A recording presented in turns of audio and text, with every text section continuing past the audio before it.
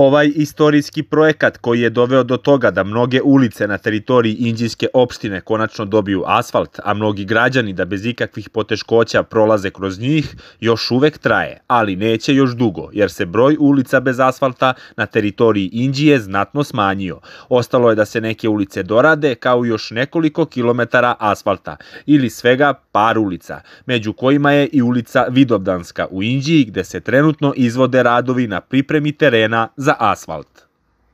Pa neće nama znači, znači će i deci i ostalim komšijama kad padne kiša neće biti blata, znaš, i bit će drugačije jednostavno. Izađeš do asfalta gore, bude sav kalja, prljav, deca idu u školu, opet ljudi idu na posao, mnogo znači.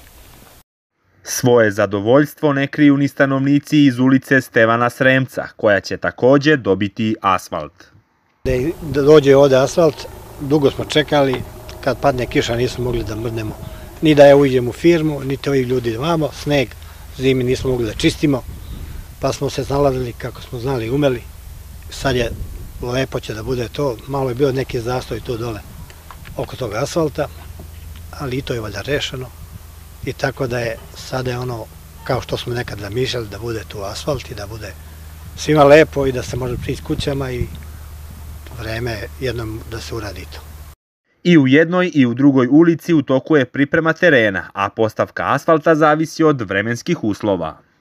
Dakle, izvršen je iskop, postavljen kameni agregat, uvaljano je, trasa je formirana, dakle, sad trenutno se vrše ispitivanja da li zadovoljava u smislu opterećenja, tako da u narednom periodu će ovaj, biti krenuto, zavisi od vremenskih uslova, naravno.